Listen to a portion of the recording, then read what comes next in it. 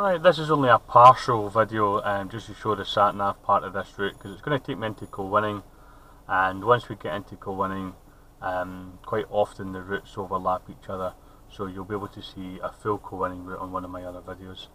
Um, so this is just an alternative way to get there um, using the sat nav part of the, the drive.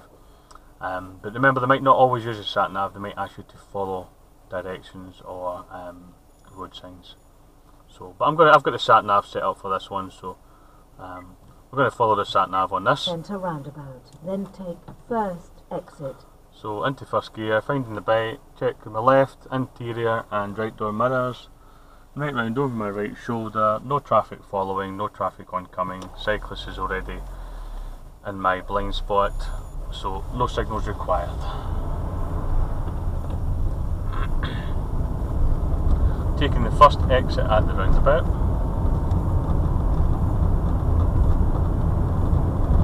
So internal mirror, left door mirror, signal left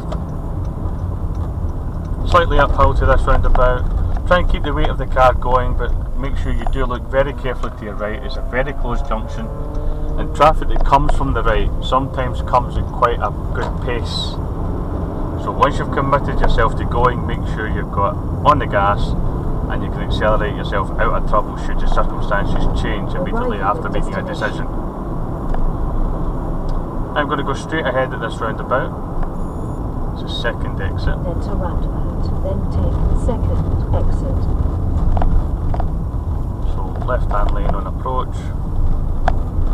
No signal just yet. Past the first exit, now signal left. Enter roundabout, then take first exit. Entering the next roundabout. So this is a double roundabout, one immediately after the other. Taking the first exit again. So this time I can signal left on approach. Making sure it's safe. Reapplying my signal to confirm my intention because it cancelled itself. And then at this point, I'm going to be taking the second exit off to the right on this roundabout. So internal mirror, right door mirror, signal to the right. Enter roundabout, then take second exit. I'm going to slow right down here because that learner driver's braking quite early. I think they might want into this this lane. Yeah, their signal's now on, so I'm going to allow them to come across.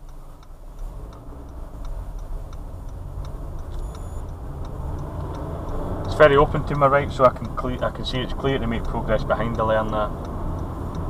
But I'm not accelerating too hard. Unsure to tell how many hours experience that learner has in front. So internal mirror left or mirror signal left. It could be their first lesson, it could be their lesson before their test.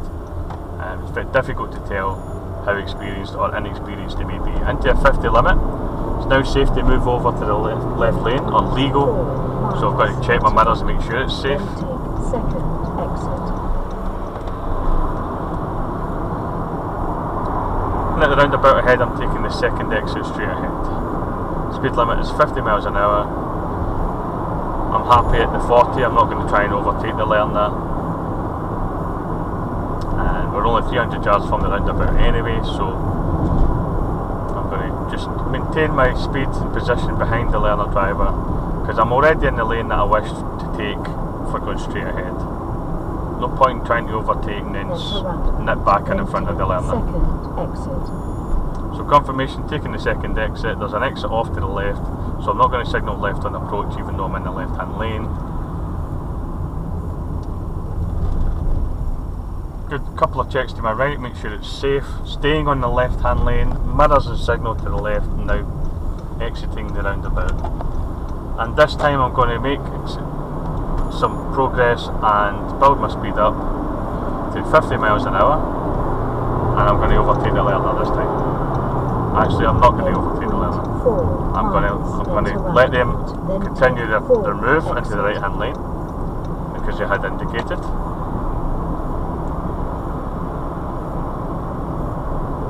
And that's fine. Sometimes we have to change decisions that we had made.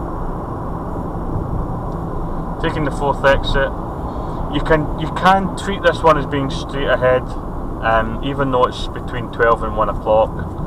Um, but you can just as easily treat it as being slightly off to the right. So I'm going to treat it as being off to the right on this occasion because I had planned to pass the, the learner driver and get back into the left hand side of the road, but it then wasn't safe to get back into the left hand side of the road.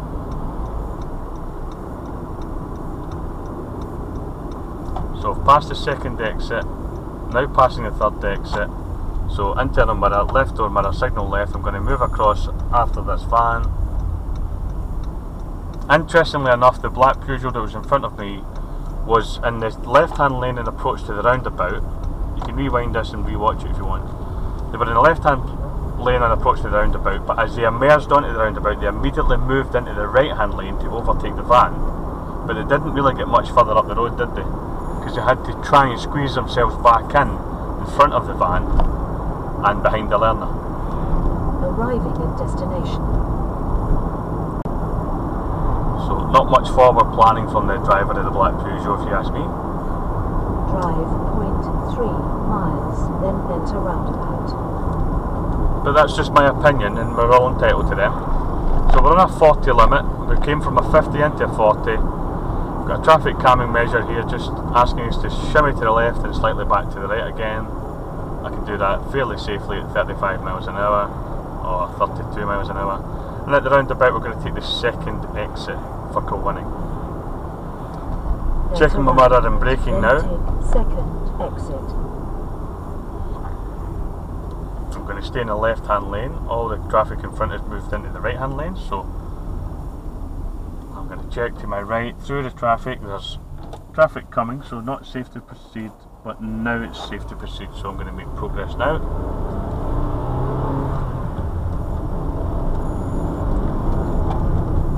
Past the first exit, into the mirror, signal left, after a left hand mirror check as well, and up through the gears into a 50 limit, over the 40 now. 1 four miles, then enter roundabout. And the road sweeps to the left.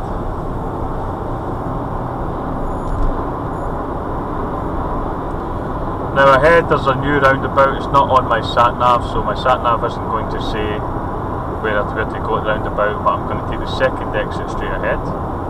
Being aware of the cyclist on the road, so checking my mirrors, braking, make sure there's enough space to overtake,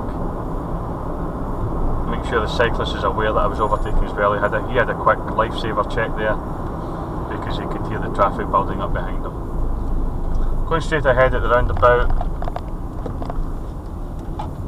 And two mirror signal left. BMW behind me, it's quite close. I don't think he realised how much space he needed to get past the biker, or how much space I needed, so From the point of braking for the cyclist, Miles, enter roundabout. He got really close. Third exit. and he was really close behind me coming in, coming in and out of that roundabout there as well. Now I'm at 60 miles an hour already, and he's flying past me as if I'm standing still. So clearly he's in a hurry, and that's fine by me if he gets away in the distance in front of me, um, because if he's going to drive at speed, then I don't want someone who is flouting the rules, if you like, immediately in front of me or immediately behind me for any longer than necessary. Enter So, roundabout. let them get away. Third exit. let them get away and out your road and minimise any road rage and things like that. I'm going to take the third exit of the roundabout, so internal mirror, signal right. After checking the right door mirror. And after I clear this roundabout, that'll be the end um, of this short video um, because that'll take me onto one of the roads that I've been on earlier um, as it takes me towards Winning. So just another junction after this one and then I'll stop the video. So that's the second exit there, checking my internal mirror, left door mirror, signal left, moving across nice and early, making my intentions clear. Sharp bend coming off this roundabout, so no acceleration required.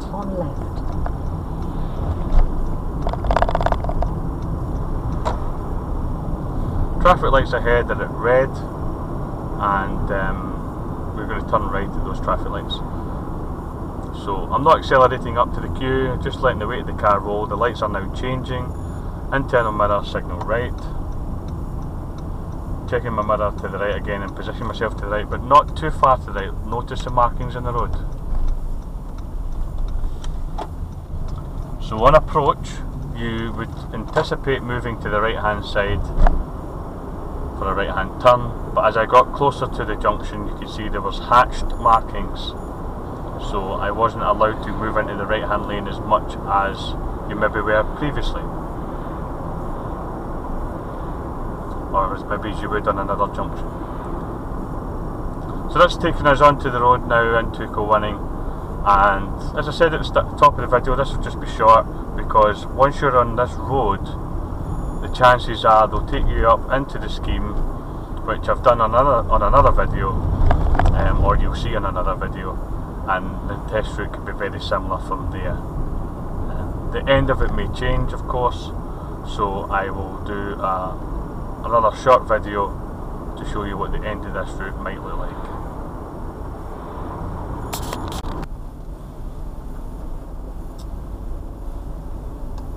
There's an oncoming car and I'm gonna, he's, he's actually flashed me so I am just double check that it's safe to make progress. I am safe to make progress so didn't need to pull in as much as I thought and they're obviously parking up at this point so wave of thanks for the driver.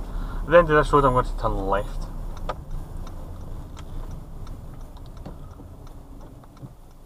Straight into first gear, couldn't see to the right through the fencing as, as much as I'd like. It's now safe to make progress certainly out of the junction and now double checking it's safe to make progress past the parked cars as well. There's an oncoming vehicle so not accelerating too much, I'm going to use this space on my left hand side just to keep the car at its current speed.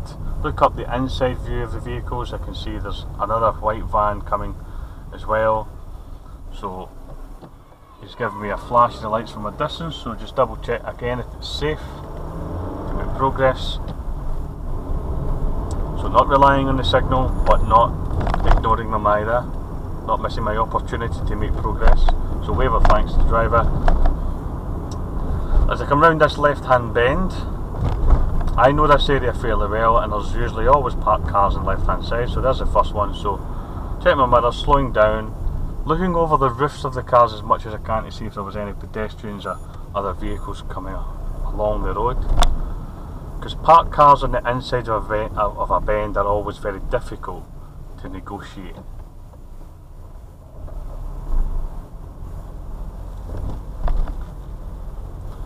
So another stop line here. I'm going to turn right at this stop line. Um, looking to my left, I can't see through the fencing again as much as I would like. That's probably one of the reasons why there's a stop line there. But again, even if you could see that it was clear to go, you must still stop. Now there's a heavy goods vehicle wanting to turn in, and so he's allowed me to pull out first. Make it to make the cornering easier for him. He certainly had enough time and space to get round about me, but he was being nice and letting me out. So again, not missing my opportunity to progress. Check my mirrors as I move off at the traffic lights back up through the gears, round the blind bend to the left, couldn't see through the wall. You can now see up through the hill, a couple of pedestrians waiting to cross the road. Young enough to get across there quite quickly, that's fine by me. Still accelerating up the hill, I could see the traffic lights were green, they were reflecting off the side of the bus. So I'm now checking to see if there are any pedestrians waiting to cross and there aren't any, so I don't expect the lights to change. Coming round the bend I can see another set of lights and some queuing traffic. Crisscross markings on the road, so slowing it down I could now get space on the other side to progress through them. Be aware of those yellow crisscross markings called a box junction. Especially when they're quite faded. Sometimes you don't see them until you're on top of them. Of course not much you can do about it by then. At the traffic lights ahead I'm going to turn right, just like the car in front. So internal mirror, right door mirror, signal right, position myself to the right.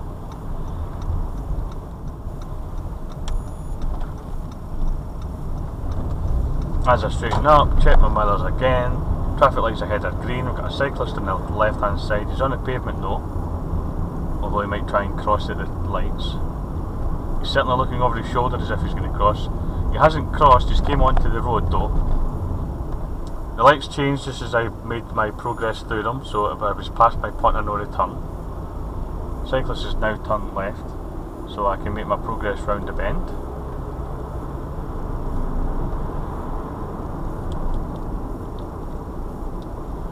And the road goes slightly uphill and round to the left. As I follow around I can see now traffic lights, they're green at the moment. Again, checking my mirrors. I'm good to stop, good to stop. I'm now past my point of no return if they change, so I've committed myself and I'm making progress.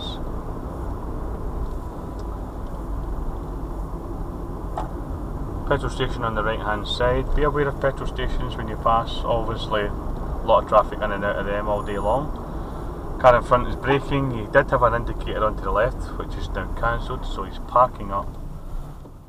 And it's safe for me to overtake him. Just making sure, I've just checked the driver in his mirror that he was looking at me in his mirror, so that I knew he wasn't going to just throw open his door without checking. Right, further up on the bend, we've got a parked vehicle on the bend.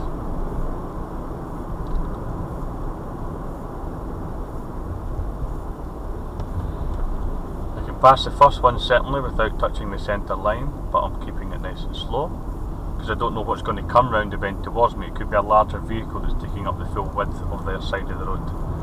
I'm now touching the white lines as I pass these later cars, but it's certainly space for me to do so. Not stopping unless I need to, making progress where possible, but not the, at the expense of other drivers, so not forcing them to slow down or change their position as they approach me.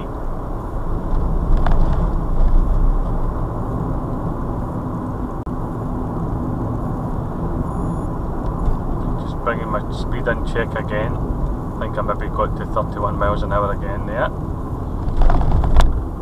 Approaching the red lights, checked my mirrors already. The following traffic that was there is on my right hand side, they're turning right.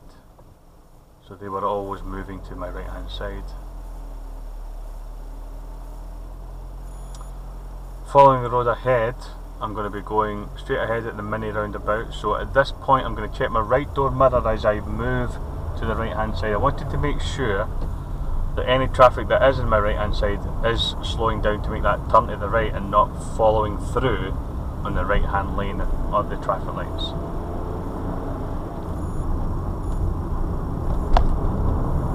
As we leave Kilwinning, speed limit changes to 40 miles per hour. Approaching the Kilwinning fire station between Kilwinning and Stevenston. And the rest of this route is the most direct route you can take back to the test centre from here. It's straight down the dual carriageway, all the way to the Kilmarnock turn off, and then a couple of junctions later, you're outside the test centre.